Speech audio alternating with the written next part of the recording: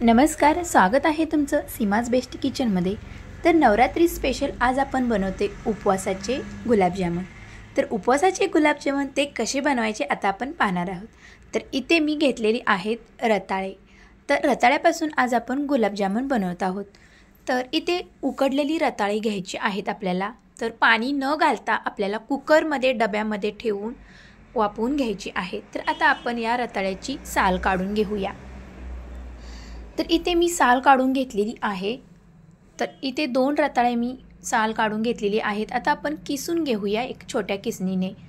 तर रताळे शिजवताना पाणी घालून रताळे शिजवायची नाहीत. फक्त आपल्याला कुकरमध्ये पाणी घालून त्यामध्ये डबा ठेवून डब्यामध्ये हे रताळे वापरून घ्यायचे आहे दोन ते तीन शिट्टीमध्ये. तर अशा पद्धतीने इथे मी किस करून घेतलेला आहे. आता आपण बाइंडिंगसाठी इथे मिल्क पावडर घालणार आहोत. तर कोणत्याही कंपनीची तुम्ही इथे मिल्क पावडर वापरू शकता. तर इथे मी पहिल्यांदा एक पुडी घातलेली आहे. तर बघणार आहोत आपल्याला बाइंडिंगसाठी किती मिल्क पावडर लागते ती. अगदी किंचितचा सोडा घालायचा आहे खाण्याचा सोडा. जर उपवासाला तुमच्याकडे चालत असेल तर तुम्ही घालू शकता. तर अशा पद्धतीने इथे मी एक पुडी घातलेली आहे. तर अजून एक आपल्याला इथे लागणार आहे. तर मिश्रण थोडंसं पातळ वाटत आहे मला. म्हणून इथे मिल्क पावडरची गरज आहे. तर पुन्हा एकदा मी इथे मिल्क पावडर वापरलेली आहे. तर अर्धी घातलेली आहे तर बघणार आहोत आपल्याला किती लागणार आहे नंतर अजून एकदा. तर अशा पद्धतीनेच आपल्याला मिल्क पावडर मिक्स करत राहायचं आहे आणि गोळा मळून घ्यायचा आहे. तर एक ते दीड पुळी इथे मला लागलेली आहे. तर इथे आपलं रताळ्याचं मिश्रण मळून झालेलं आहे गुलाबजामांसाठी तूप लावून एकसारखा गोळा आपण आता एक दोन ते तीन मिनिटे बाजूला ठेवणार आहोत. जास्त वेळ ठेवण्याची काही गरज नाही. तर तोपर्यंत आपण इकडे पाक करायला ठेवूया.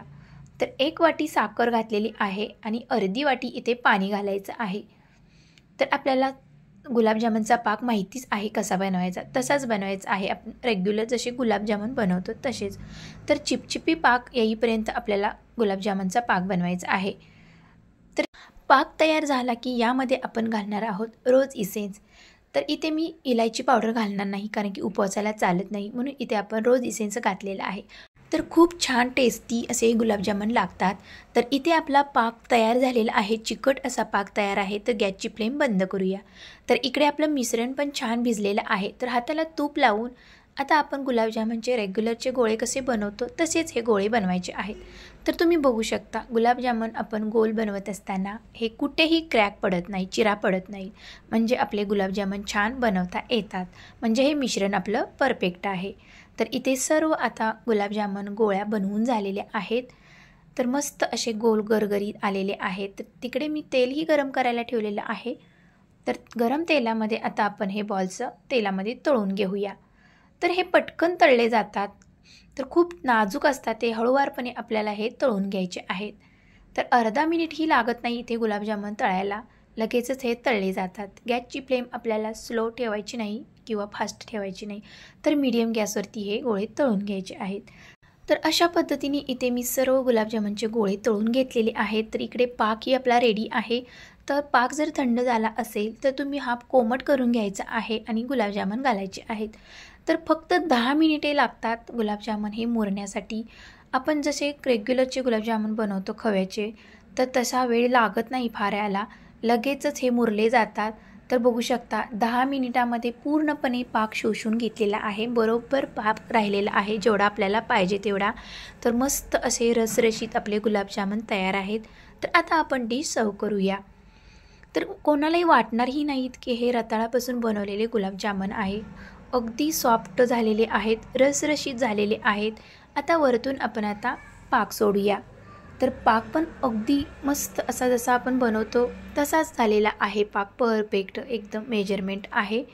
तर वरतून आता आपण बारीक केलेला पिस्ता असा घालूया चुरा पिस्त्याचा.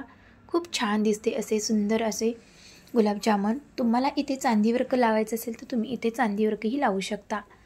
तर अशा पद्धतीने मी नवरात्री स्पेशल उपवासासाठी रताळापासून गुलाबजामुन बनवलेले आहेत. तर मस्त अशी टेस्टी लागतात. तुम्ही ही रेसिपी नक्की ट्राय करून बघा. तर एक तोडून दाखवते तुम्हाला की ते आतून कसे झालेले आहे. तर तुम्ही बघू शकता. आतून रसरशीत असे गुलाबजामुन बनलेले आहेत. पाक आतपर्यंत शोषलेला आहे. रताळ्यापासून गुलाबजामुन बनवलेले कसे तुम्हाला वाटले ते कमेंट बॉक्समध्ये नक्की सांगा. रेसिपी आवडल्यास लाईक शेअर सबस्क्राईब करायला विसरू नका. भेटूया पुढच्या रेसिपीमध्ये बाय बाय